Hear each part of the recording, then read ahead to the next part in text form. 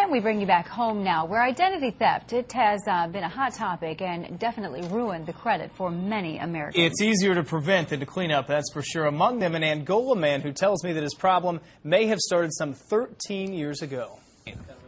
Jeremy Guthrie of Angola is deceased, which makes our meeting yesterday kind of hard to explain. I find out that I'm no longer living, according to all the credit bureaus. Major shock. Jeremy's financial nightmare started back in 1995 when his wallet with his social security card inside was stolen in South Bend.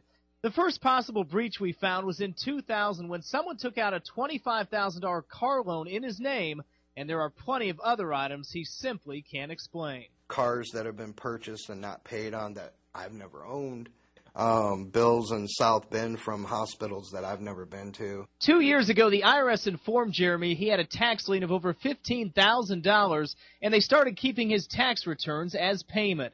Things only got worse a few months ago when he was denied a home mortgage after a credit agency informed him he was dead. Jeremy came to us after two years of paying an IRS lien he wasn't even sure was his. Jeremy's situation is not that uncommon that many individuals find it very intimidating to deal with the IRS. You certainly need to have patience when waiting on their phone system. Yesterday, we set up a three way call with us and Jeremy and the IRS. And for the first time in this two year ordeal, he finally got some answers as to where that lien was coming from. Jeremy was told his tax lien came from an audit of his income taxes over 10 years ago, but still after his wallet was stolen. He was instructed to do a number of tasks with the FTC and local police that will document his complaint.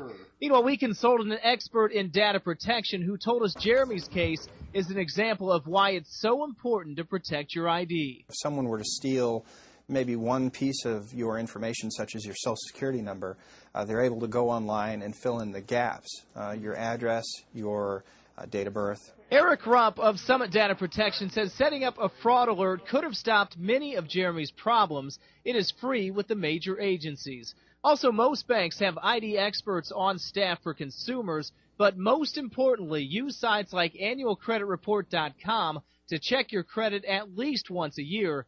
The IRS also told me never carry your Social Security card in your wallet. As for Jeremy's situation, it is possible the person using his ID recently died as a woman used his Social Security number in a death benefits claim.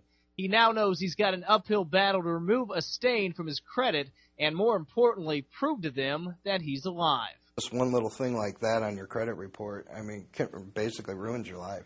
The IRS has given Jeremy 30 days to provide them with the information they've requested. At that time, they'll review his debt to the government and determine if he was actually the Jeremy Guthrie that acquired it.